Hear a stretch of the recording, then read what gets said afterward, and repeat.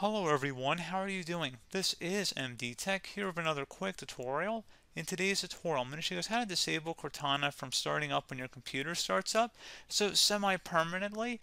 So keep in mind Cortana is an integrated part of Windows 11 and Windows 10 too. So when you're disabling it, you may not be entirely disabling it, but it shouldn't be nearly as much in your face and it shouldn't be consuming the resources that you care about. So the system resources, it shouldn't really be running too much.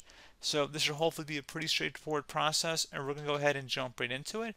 And we're going to start off by right clicking on the Windows Start button and then select Settings. Select the Apps tile on the left side and then on the right side you want to go ahead and select Apps and Features. Now in the search apps field, you want to go ahead and search for Cortana. Best match should come back with Cortana. Go select the three dotted icon next to it and select advanced options. Scroll down and where it says run and login, you want to go toggle this to the off position and close out of here. And now you also want to go right click on the start button again and select task manager. Select the startup tab and make sure Cortana is disabled in here and if not you can right click on it and select disable and that's about it.